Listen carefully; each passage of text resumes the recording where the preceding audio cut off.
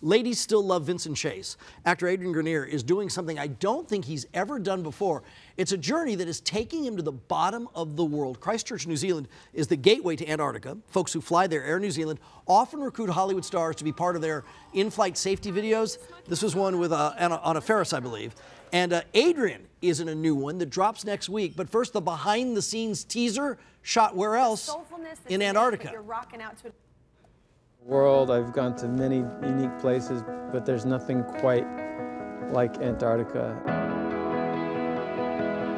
What a rare treat to be in an Air New Zealand safety video, but then to have such an epic co-star as Antarctica.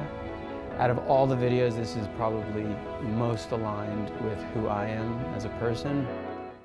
Okay, that we need to do the morning news there. That's Stunningly beautiful. That's where we need to take the show. Can you imagine the flight? How long it would take to get Uh, there? I I've been to, to Christchurch and that they do have the, there's a U.S. military base. Yeah. That's the getaway for the whole. It's great. Video will highlight the scientists Air New Zealand supports to do climate research. Uh, looks like fun.